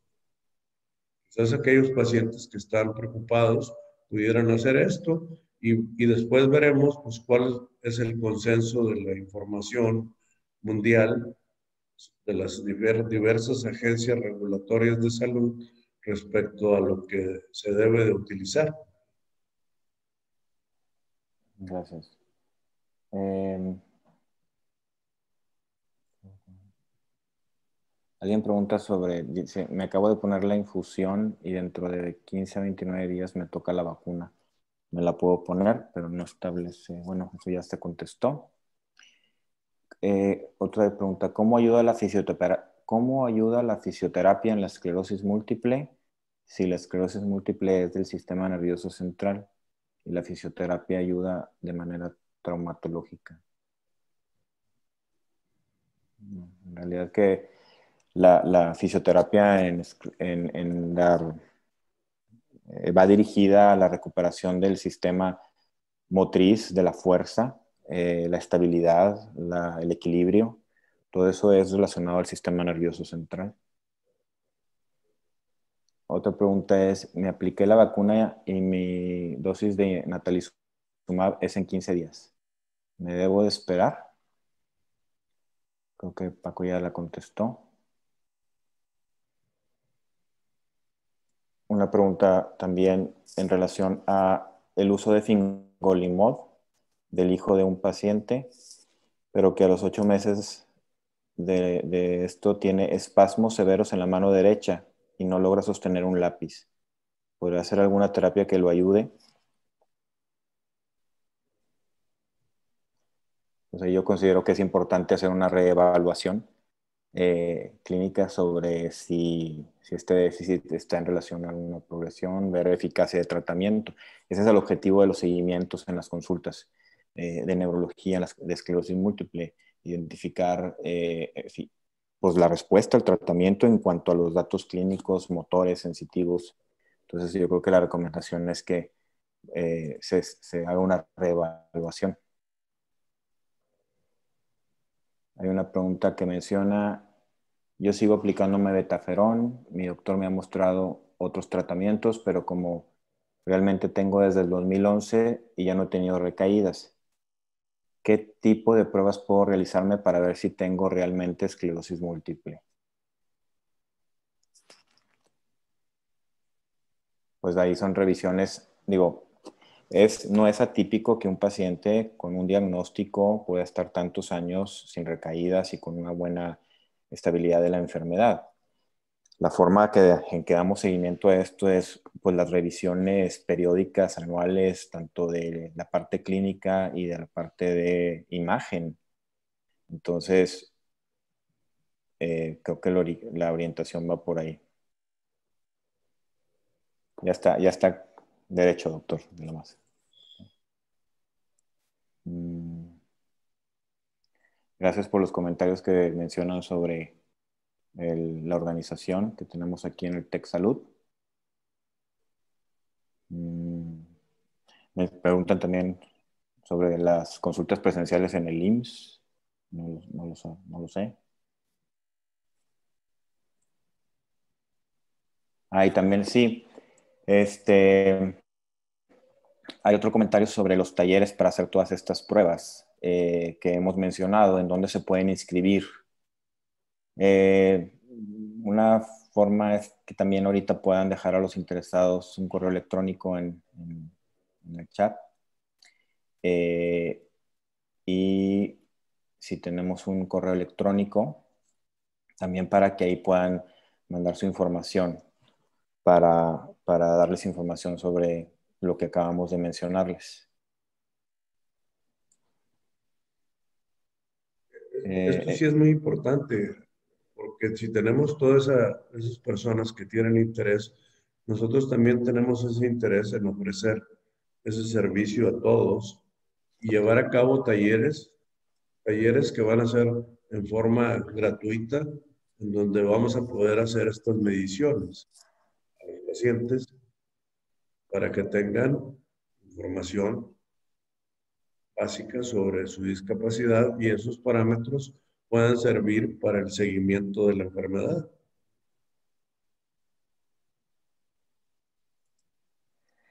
Ok, veo que ya están dejando ahí los correos electrónicos, los cuales vamos a juntar para... Eh, bueno, todo, todo el mundo se registró en que había una hojita de registro, así que tenemos los datos de todos y a todos se les estaría después mandando esta información.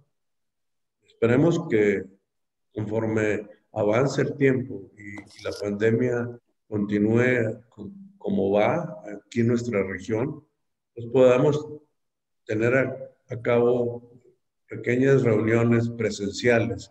No podemos hacer grandes reuniones de inicio, pero sí pequeñas reuniones con 10 pacientes, por ejemplo, que pueden estar citados en diferentes momentos para hacerse las pruebas. Como, venir a consulta. No podemos llevar a cabo reuniones en auditorios, todo eso, pero sí creo que podemos ir ya planeando nuestros talleres, podérselos ofrecer a ustedes todos estos talleres de evaluación de las diferentes pruebas cognitivas y motoras que podemos ofrecer. pero todo va a permitir de lo que nos permitan las autoridades sanitarias y aquí la institución también tiene un reglamento que tenemos que, que cumplir, ¿verdad? En la medida que podamos hacer esto, lo vamos a llevar a cabo. Es un plan que ya teníamos bien establecido y claro y queremos ofrecérselos en forma gratuita a todos estos, estos talleres.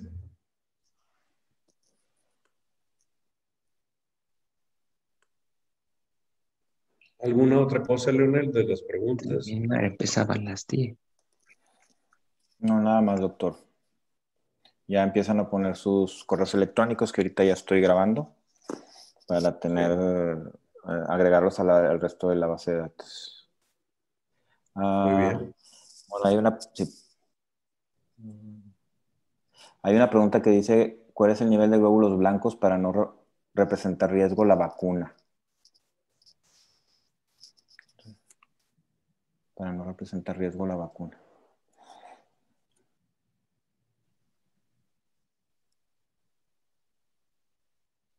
Esta respuesta.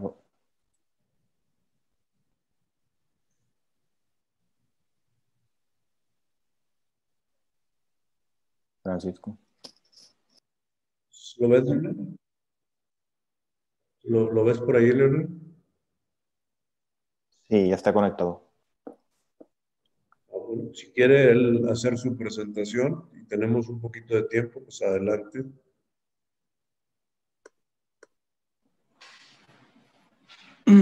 Sí, hola doctor. Eh, ¿Puedo ya empezar? Sí, hacia adelante. Bien, doctor. Un segundito.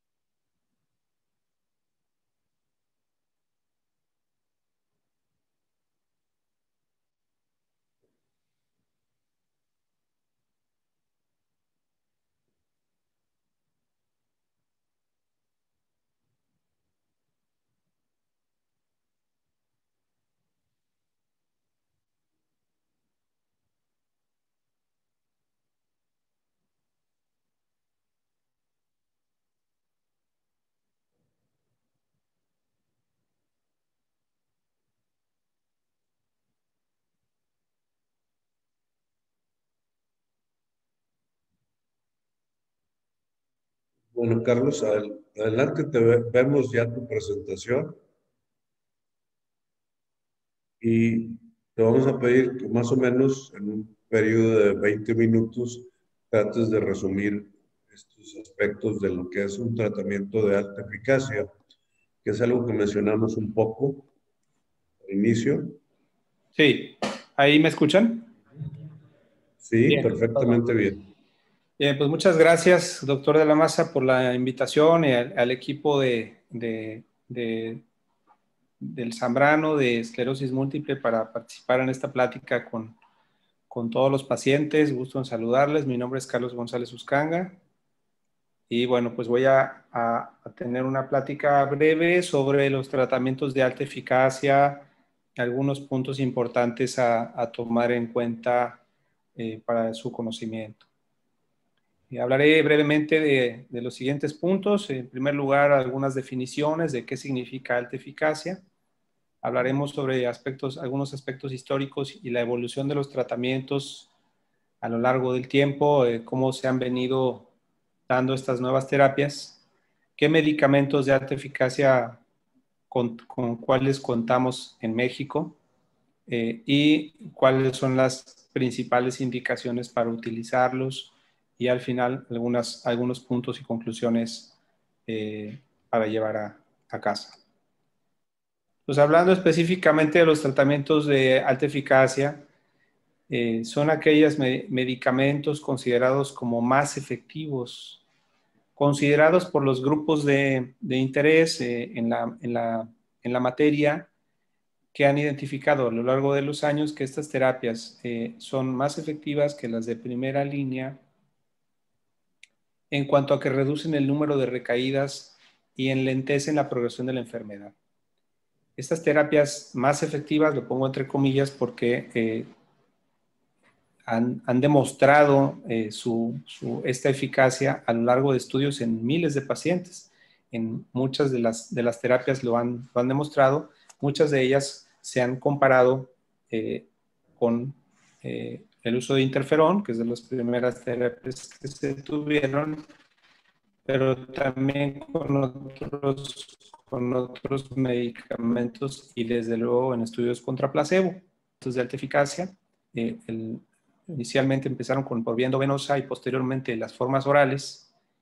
Y estas terapias de alta eficacia regulan o controlan el sistema inmunológico de una forma más profunda y compleja, muchas veces eh, alterando más de dos o tres vías especiales y, e incluso algunas de estas terapias pueden alterar la, la, inmunidad de una manera irreversible o de una manera eh, eh, persistente a lo largo del tiempo.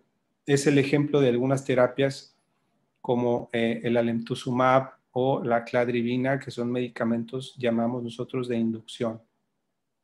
Existe un promedio de disminución de recaídas que puede oscilar entre el 60 y el 70% comparadas contra placebo. Eh, eh, algunas de esas terapias eh, son bastante, bastante efectivas, pero como ponemos ahí, representan un poquito mayor riesgo de efectos adversos que las terapias de primera línea y por lo cual requieren de un monitoreo más frecuente, ya sean estudios de sangre o estudios de imagen. Los tratamientos de alta eficacia surgen a raíz de la investigación desarrollada en los últimos años eh, con el descubrimiento de, la enfermedad.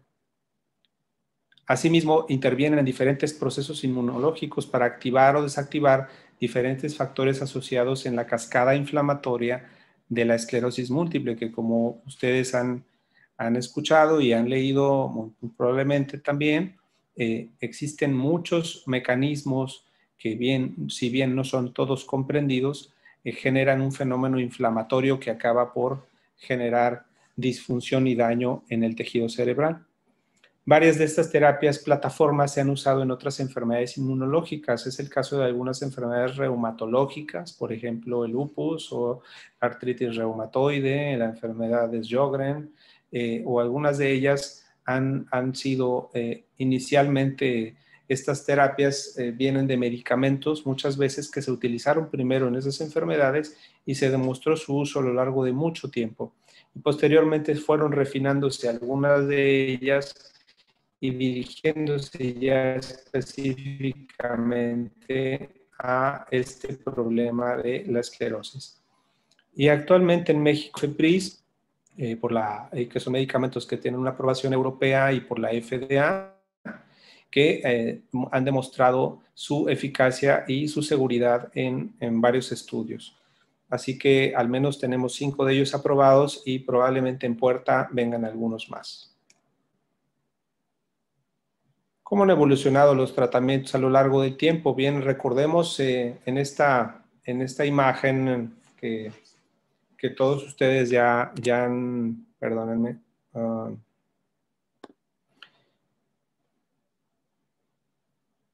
ahora sí, eh, bueno, esta imagen pues nos recuerda un poquito el surgimiento de estas terapias, cómo fueron dándose a lo largo de una línea de tiempo. Podemos ver, por ejemplo, que los interferones, como ustedes saben, fueron las primeras terapias aprobadas y utilizadas. Allá por los inicios de los años 90 se empezaron a utilizar y empezaron a venir el advenimiento de nuevas terapias. Más o menos por el, por el año 2004, 2005 se, se empezó a utilizar el talizumab, aunque su aplicación eh, completó en el 2006 y fue la primera terapia de alta, de alta eficacia que se, que se conoció, que se utilizó este, y que eh, pues duró bastantes años en, boga, ¿verdad? Posteriormente tuvimos el advenimiento del fingolimod, que es el Gilenia, eh, ya aprobado por la FDA en 2011, pero el medicamento estuvo en el estudio desde el año 2007-2008 y es la segunda terapia que, conocemos de modificadora de, alta eficacia. Y después tuvimos otros, otros medicamentos intermedios de, primera línea, como la teriflunomida o el dimetilfumarato, hasta que el advenimiento de la lemtuzumab en 2014 pues, eh, vino a eh, revolucionar mucho los tratamientos, las terapias de inducción con una capacidad y una eficacia eh, muy bien comprobada, muy bien definida, de mucha de mucho impacto, eh, que puede suprimir la inflamación, que puede detener la progresión Y bueno, después tuvimos eh, cerca del año 2017 y la aprobación en 2018 de ocrelizumab y posteriormente de cladribina. Eh, y bueno, pues ya estamos en los albores de, de tener en, en México uh, al ciponimod, si bien todavía no, no contamos con él eh, desde el punto de vista farmacéutico, ya se ha hecho la, la solicitud para introducirlo eh, como una nueva terapia de alta eficacia. En los medicamentos de alta eficacia, básicamente mencionar que tenemos algunas, algunas eh, formas, algunas eh, terapias. Permítanme.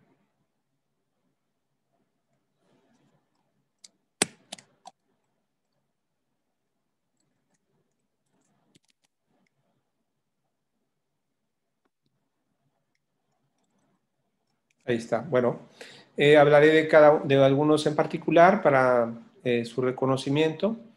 Eh, el natalizumab, que fue el primero que tuvimos aprobado en 2006, es una, es una terapia, un medicamento que está indicado como monoterapia, es decir, como un solo medicamento se utiliza para formas recurrentes de la enfermedad y inicialmente se utilizaba para una forma de esclerosis pues particularmente fuerte, agresiva o que no respondía bien o que no respondía adecuadamente a las primeras terapias con interferones o acetato de latiramer.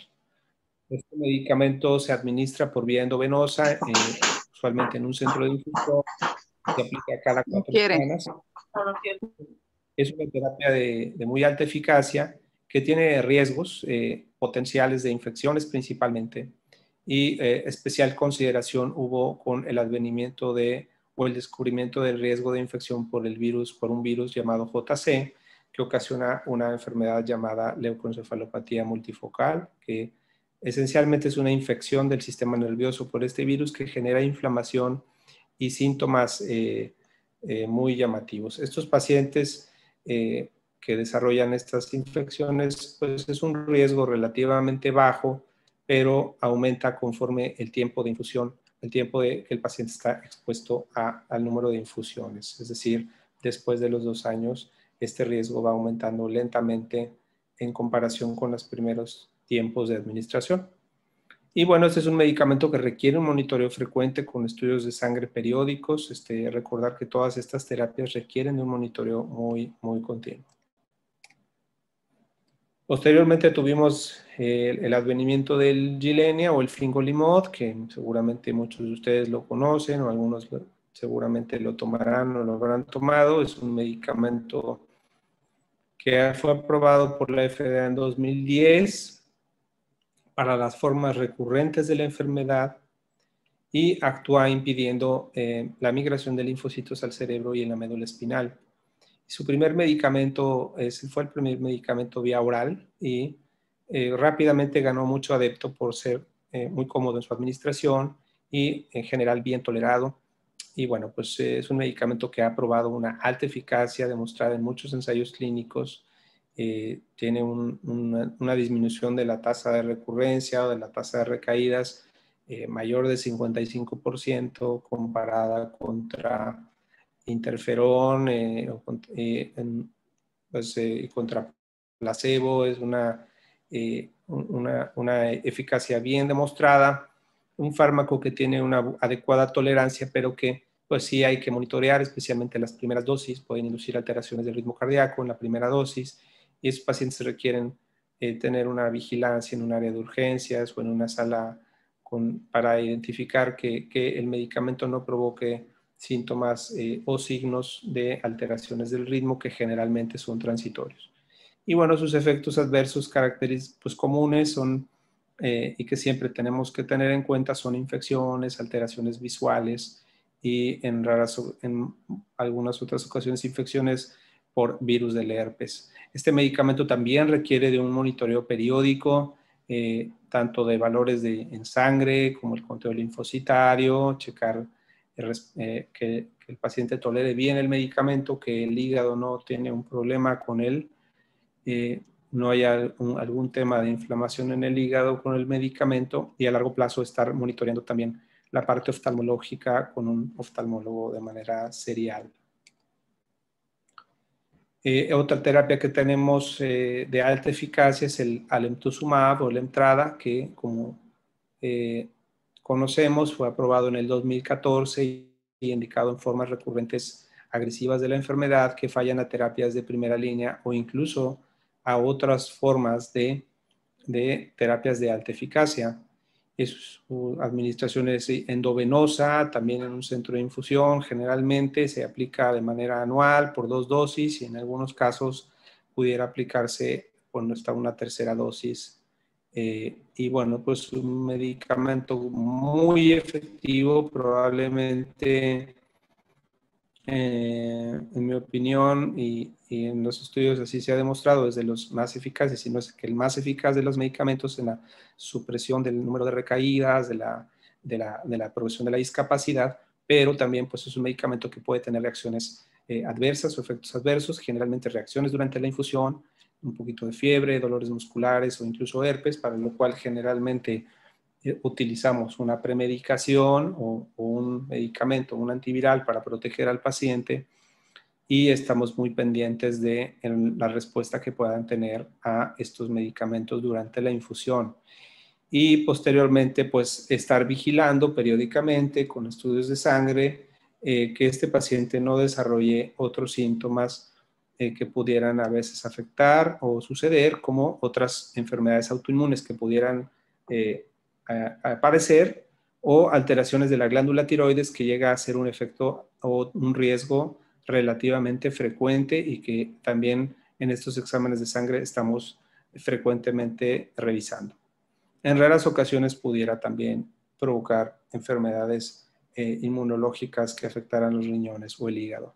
Y se requiere un seguimiento muy, muy puntual con este, este tipo de terapia el ocrelizumab o el ocreus, que, del cual hablaban eh, eh, mis compañeros en, las charlas previas, es un medicamento de alta eficacia para formas recurrentes de la esclerosis y bueno, pues es el único medicamento al día de hoy aprobado para esclerosis múltiple primaria progresiva, esa forma eh, de, la, esclerosis primaria, primaria que, ah, como recordarán ustedes, aparece en la persona que tiene este tipo de esclerosis, que es de los menos frecuentes, pues tiende a eh, progresar conforme eh, avanza la, enfermedad, no, tiene, no se caracteriza por tener recaídas, sino más bien por progresión de la discapacidad. Y, bueno, pues este medicamento recientemente también recibe una aprobación para, para hacer una terapia de forma secundaria progresiva para las formas secundarias, pacientes que tenían recurrente, forma recurrente y que evolucionan en una forma progresiva también eh, ha sido aprobado para este uso. Su aplicación es endovenosa, también en un centro de infusión en cada seis meses. Y bueno, pues sus efectos adversos más comunes son eh, los relacionados a, eh, a la infusión, ¿va? durante la infusión, que suele durar de tres a cuatro horas. Los pacientes pueden tener, experimentar dolores de cabeza, fiebre o o algún otro malestar, pero en general es un medicamento bastante bien tolerado, diría yo. Y, eh, y, bueno, pues otros efectos que sí pueden aparecer a lo largo del tiempo, pues son infecciones, infecciones, son aumento en la frecuencia de las infecciones, como pueden ser de vía respiratoria, eh, genitourinarias. Y bueno, pues sí existe un riesgo bajo de cáncer, pero bueno, sí hay que leer y eh, el, leer con, con detalle ese, ese, ese riesgo que aunque es bajito, existe y eh, el perfil del paciente es muy importante, es decir, pacientes que tienen riesgo de cáncer o que han tenido cáncer pudieran no, no ser candidatos ideales para estas terapias. Eh, y bueno, pues requiere un seguimiento también muy periódico de laboratorio y, rutinario, así como unas pruebas que hacemos antes de administrarlo para ver que el paciente no tiene otras formas de o algunas, algunas infecciones crónicas. Cladribina o el Mavenclad, que es un medicamento que también tiene, eh, es relativamente nuevo aquí en México, eh, aunque tiene una aprobación ya en 2019. Es una terapia de inducción que modifica la respuesta de los linfocitos de manera permanente a largo plazo. ¿sí? Este, este medicamento reduce el empeoramiento de los síntomas y enlentece la progresión de la enfermedad eh, de manera significativa ya en varios estudios. Es un medicamento que se administra por vía oral y generalmente se administra de, manera periódica por unos días y debe ser, hace una, una, repetición y hasta el segundo año se vuelve a tomar eh, por una serie de días consecutivos. Es muy cómoda su forma de administración y en general eh, pues eh, es muy poquito lo que el paciente tiene que tomar. En realidad es una terapia que sí se puede, tiene una buena adaptabilidad, el paciente sí tiene un buen apego a esta forma de tratamiento eh, pero bueno, si es un medicamento que requiere un monitoreo continuo de sangre, o sea, frecuente, monitoreos virtuales, laboratorios frecuentes, y bueno, pues también tiene un riesgo eh, aumentado en la frecuencia de infecciones, pero en general es un medicamento que tiene eh, un buen perfil de seguridad. Y bueno, pues las indicaciones principales de la esclerosis para las terapias altamente efectivas, pues se basan mucho Obviamente, muchos de, los factores que influyen en la decisión del tratamiento tienen que ver con, varios factores. Algunos de ellos factores pronósticos y algunos, algunos de ellos eh, factores de la, o comorbilidades o condiciones que el paciente tiene, el embarazo, eh, la presencia de otras enfermedades, eh, qué tanto monitoreo el paciente requiere tener, y desde luego, y no menos importante, la preferencia del paciente, que prefiere ponerse el medicamento endovenoso, prefiere tomar, no quiere estar estando entrando en un centro de infusión. Eh, son factores que hay que discutir y revisar.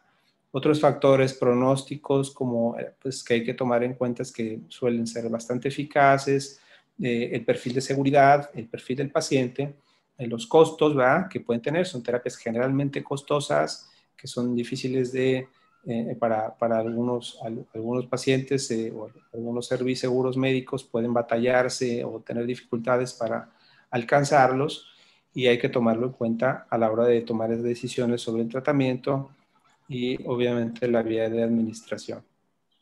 Estas terapias de alta eficacia se indican en pacientes que generalmente o han fallado a medicamentos de primera línea o incluso medicamentos de segunda línea eh, en pacientes con fenotipo recurrente remitente con cuadro clínico agresivo desde el inicio, es decir, un paciente puede no necesariamente haber tomado un medicamento de primera línea, sino que si su enfermedad desde el inicio tiende a ser muy agresiva o afectar algunas áreas del sistema nervioso que son muy sintomáticas, pues nosotros los médicos podemos tener, podemos indicar iniciar estas terapias desde el inicio.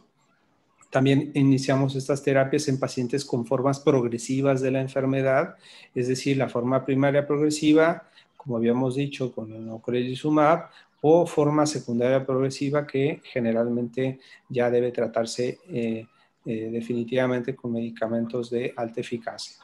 Y bueno, en pacientes con criterios de progresión clínica o radiológica eh, también debemos considerar. Hay pacientes que, eh, o, factores de mal pronóstico que nos hacen o nos ayudan a tomar decisiones sobre, en muchas ocasiones, para iniciar estas terapias. Por ejemplo, pacientes que tienen factores clínicos como una tasa elevada de recaídas, un menor tiempo entre recaídas y o, los pacientes que no alcanzan a recuperarse bien después de una recaída o en aquellos que tienen una escala de discapacidad alta desde el principio, es decir, desde el primer cuadro diagnóstico así como para pacientes que tienen síntomas del tronco, del cerebelo o de la médula espinal, pues son pacientes que generalmente serán candidatos a recibir estas terapias de alta eficacia. Asimismo, eh, aquellos que tienen marcadores de mucha inflamación, eh, que ya algunas, algunos este, estudios eh, recientes nos ayudan también para saber qué también o qué están respondiendo los pacientes, podemos ayudar, nos pueden ayudar a tomar decisiones.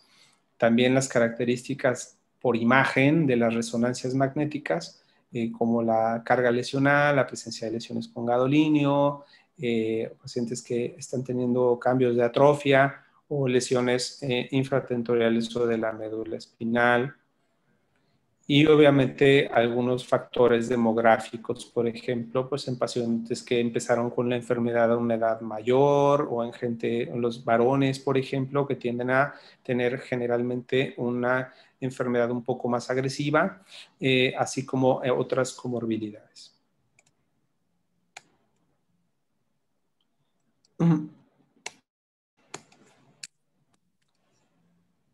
Eh,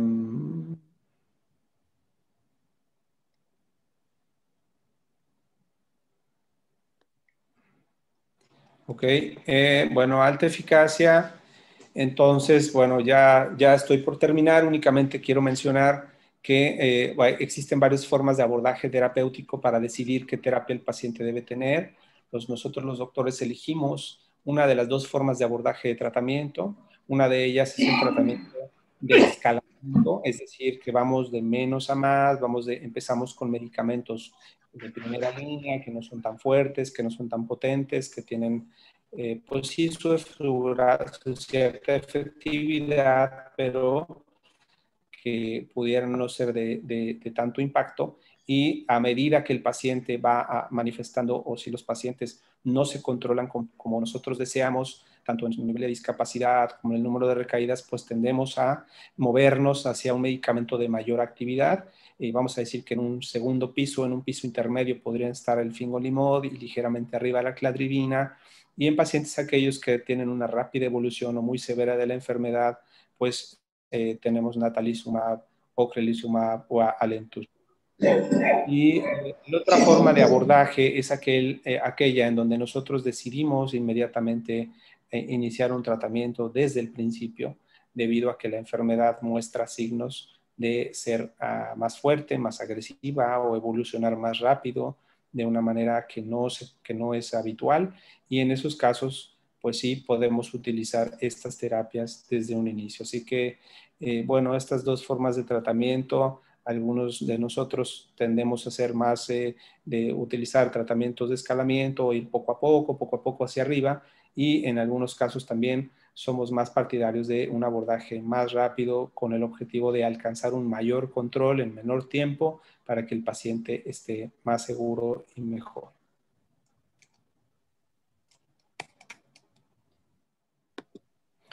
Finalmente, pues ya para concluir brevemente, simplemente estos puntos que quisiera llevar, que llevaran a casa, que estas terapias de, alto, de alta eficacia eh, pues son, eh, reducen significativamente la tasa de recaídas y disminuyen la discapacidad. Eh, bueno, están indicadas en pacientes con esclerosis con formas agresivas y progresivas, así como en pacientes que han fallado a terapias de primera línea. Tienen mayor riesgo de efectos adversos y requieren de un monitoreo más continuo. Es algo muy importante que deben tener en cuenta médico y paciente y que su médico podría sugerir iniciarla en algún punto de la evolución de la enfermedad y discutir sobre los riesgos, los efectos adversos y el perfil de cada paciente. Y bueno, pues eh, con eso concluyo. Muchas gracias por su atención. Si hay algún comentario o alguna pregunta, doctor de la Maza, doctor Leonel, Francisco. Eh, mm, Muchas gracias, Carlos. Este, tu mensaje ha sido excelente. Yo creo que la, la idea que, tuve yo inicialmente cuando te pedí que hablaras de esto era precisamente que los pacientes pudieran entender lo que es un tratamiento de, de alta eficacia. Como tú lo dijiste, los tratamientos de alta eficacia han tenido un gran impacto sobre la inflamación y por consecuencia la reducción de la discapacidad.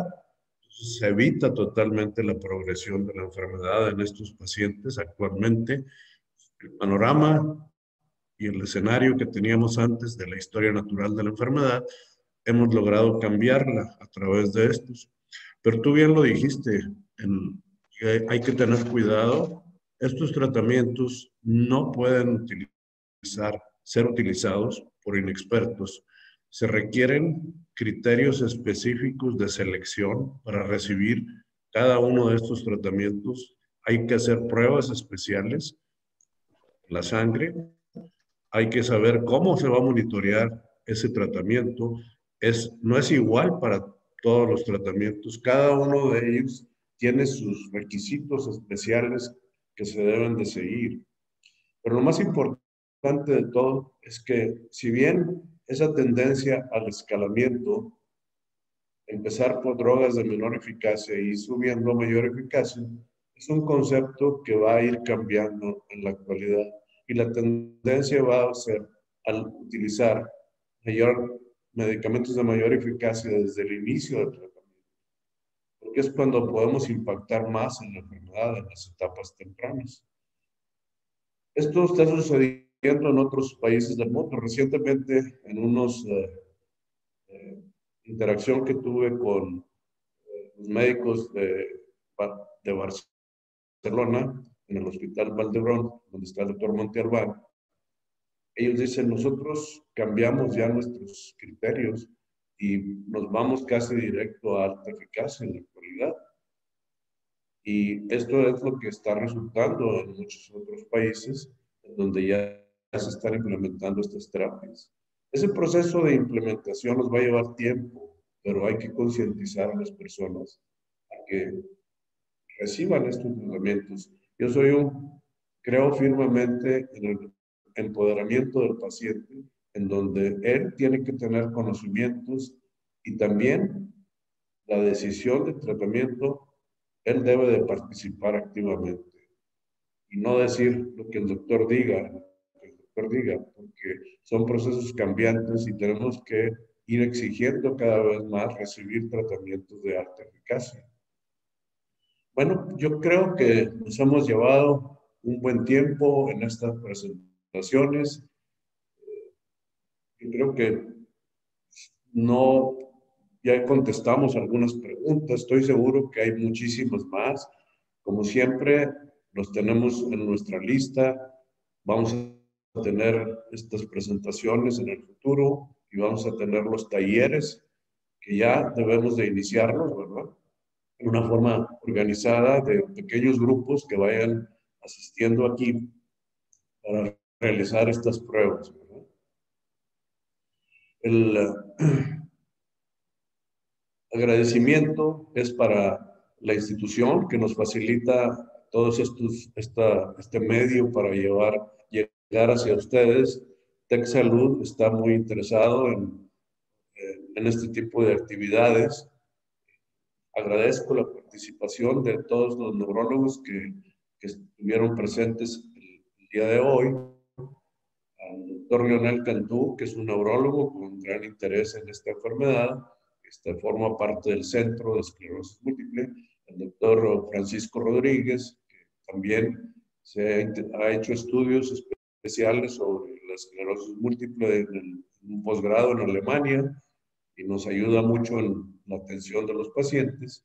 El doctor Carlos González, que es eh, director de enseñanza de posgrado, también ha trabajado muchos años en el área del Hospital San José, que es el hospital hermano de Texalud, de este Hospital Zambrano, en la atención de pacientes con esclerosis múltiple conocemos desde hace muchos años, hemos trabajado en varios proyectos y seguiremos haciendo estos esfuerzos por llevar a, ustedes información educativa sobre la enfermedad, que hoy revisamos los aspectos de formas clínicas, revisamos un poquito sobre la vacunación y recomendaciones, revisamos algo sobre medición de discapacidad y finalmente lo que son tratamientos de alta eficacia. Y no me queda más que agradecer a todos su atención y participación a esta celebración de aniversario del Día Mundial de la Esclerosis Múltiple. Que tengan todos un, un buen día